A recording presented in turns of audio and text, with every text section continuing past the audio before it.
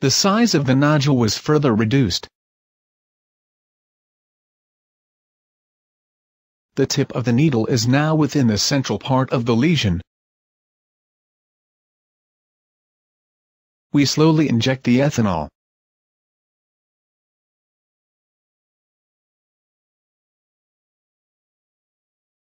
The alcohol appears as a slowly and continuously thickening hyperechogenic mass in the ventral part of the nodule.